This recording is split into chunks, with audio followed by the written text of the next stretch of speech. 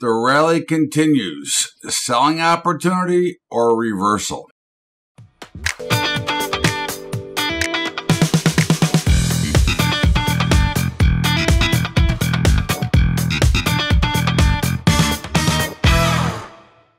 What's up, everybody? Welcome aboard to Bubba's Daily Update for Monday, January the 31st. And of course, January flew by with a, a fairly ugly month for stocks, although we're seeing a pretty solid rally today. Uh, is this a selling opportunity or is it a, a reversal? Well, uh, if you base it on our positions, uh, the uh, Dow is a buying opportunity because we bought it this morning.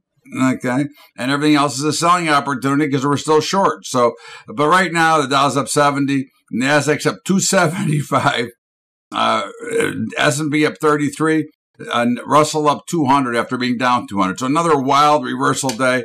Very thin volume today, though, very light trade.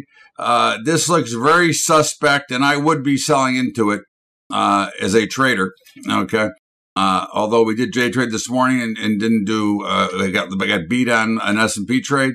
Uh, but in the meantime, it is what it is. Every day is different. Uh, in the meantime, as you'll see, crude oil is flat, uh, but was up much higher. But it's it's going higher. Now it may not be now, but it is going higher because again, the energy policy stinks, and uh, along with the administration.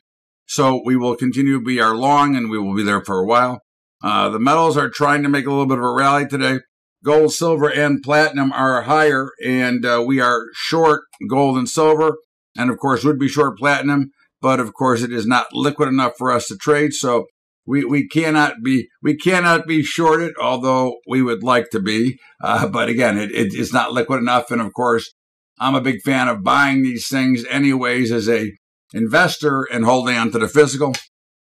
Uh, bonds and notes are lower, and we are short. Um, the um, uh, where am I looking at here? I'm, I'm, I'm losing my mind. Sorry, guys. It's been one of those days. Uh, copper is is uh, is is lower, and we are we sold into the rally this morning. Uh, natural gas is higher, and we are long. We bought this morning, though. Just remember, again, uh, and the dollar is lower, and we are long. Uh, Bitcoin is flat. We are still short. Uh, so as we as we look at the big picture, uh, the grain markets suddenly corn has fallen down about eight cents after being much higher this morning. Beans are still higher, and wheat is falling apart as well. Lots of stuff going on. It's obviously some news driven events. We'll see what it looks like, but we are long across the board in the grain markets and in the in the meats. Uh, feeder cattle is flying higher, up almost three bucks. We're short. Live cattle is uh, up a little bit, and we're we're short. And hogs are up, and we are long. So it's kind of a mixed picture in the uh, in the protein complex, and in the softs. Cotton is uh, is flying higher. We're long. Coffee is flat. We're long. Uh, sugar is lower. We are short. Excuse me. We're long. My apologies. Uh, cocoa is higher, and we are short. And OJ is lower, and we are long and we'll see what happens from here. Again, it's it's a very thin, very tenuous market, uh, kind of like our football picks yesterday.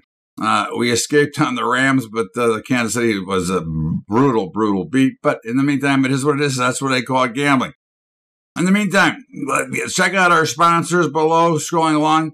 Very busy trying to get caught up here. In the meantime, have a great day. This is Bubba's Daily Update for Monday, January 31st. We'll see you back here tomorrow again on Tuesday. Have a great day, everybody. We'll see you later.